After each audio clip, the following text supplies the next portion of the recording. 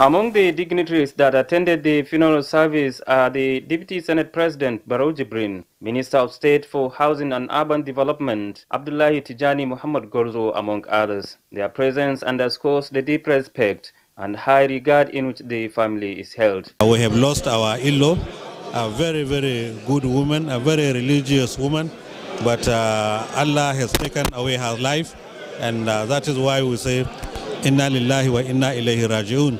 We should pray that uh, may Allah give her Al-Jannah Fidawsi. Well, we love her mother. She was a mother to us, she was a grandmother to us. A wonderful woman.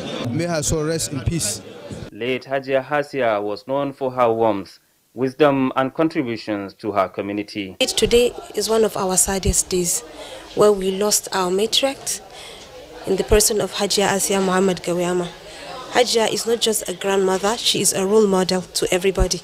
But Allah loves her best. And our prayer today for her is, may Allah subhanahu wa ta'ala grant her al-Janatul Firdausi.